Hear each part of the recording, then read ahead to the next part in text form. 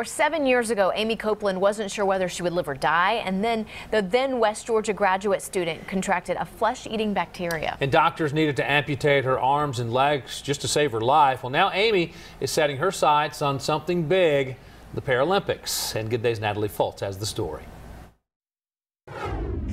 Morning. It feels pretty great to know all that I've accomplished since then and all that people with disabilities can accomplish no matter what their challenges might be. Aimee Copeland puts on her goggles before making her way into the pool at the Windy Hill Athletic Club. It's where she trains four days a week. Little breaststroke, hopefully breathe out. Get warmed up here. Copeland is a quadruple amputee. In 2012, the then 24 year old Snellville native fell off a zip line and contracted a flesh eating bacteria. Seven years ago, my life was in a precarious state. They didn't know if I was going to live or die. After the grief subsided, Copeland accepted her new reality and started getting her life back to normal. She found new ways to exercise never thinking it would turn into training for the Paralympics.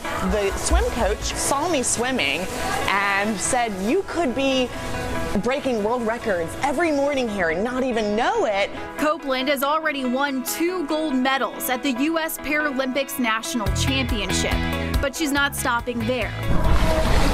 Her goal now, getting an invitation to join Team USA at the Paralympic Games in Tokyo next summer. People see me on the streets and they're like, we feel so sorry for you.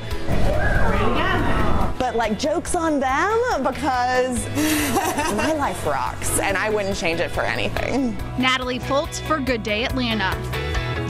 Gosh, that smile. Copeland says she will need to drop some time before she will meet the standards for to qualify for Team USA. But gosh, if anyone can, yeah. I think she. You going to doubt her? No, absolutely never. Not. That smile, that that that energy, that zest for life, it's, mm-hmm. it's just infectious. Yeah, I think oh, everybody fell in love with her seven years ago yeah, and continue. Yeah. It's nice to see the updates over she the years. always so inspiring. Mm-hmm. All right, we wish her the best.